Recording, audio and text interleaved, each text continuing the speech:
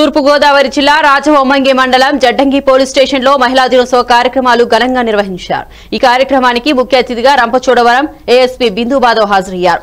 అన్ని రంగాల్లోనూ మహిళలే ముందంజలో ఉన్నారన్నారు కరోనా టైంలో పనిచేసిన అన్ని శాఖలకు సంబంధించి మహిళలకు సన్మానం చేశారు. ఈ కార్యక్రమంలో CI Nagadurgarao SI Gopi Narendra Prasad Jaddangi SI Mohan Kumar police సిబ్బంది సచివాలయం సిబ్బంది అంగన్వాడీ స్కూల్ సిబ్బంది గ్రామస్తులు తదితరులు పాల్గొన్నారు.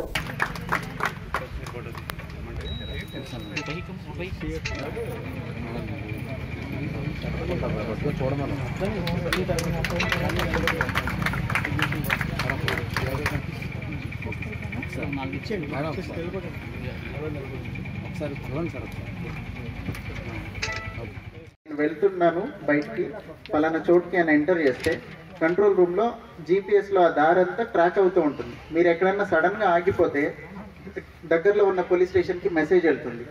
సో ఇట్లాంటి చాలా సేఫ్ గార్డ్స్ ఉన్నాయి దానిలో సేఫ్ ప్లేసెస్ ఇప్పుడు మీరు ఎక్కడైనా కొంచెం కొత్త చోటుకు వెళ్ళారు. ఇక్కడ నాకు ఫైవ్ కిలోమీటర్స్లో సేఫ్ ప్లేసెస్ ఏమున్నాయి అంటే పోలీస్ స్టేషన్ ఏటీఎం ఇట్లాంటి ప్లేసెస్ చూపిస్తుంది దానిలో ఏటీఎం ఎందుకు ఇంక్లూడ్ చేయడం జరిగిందంటే ఏటీఎం దగ్గర ఆర్మ్డ్ గార్డ్ ఉంటారు కదండి.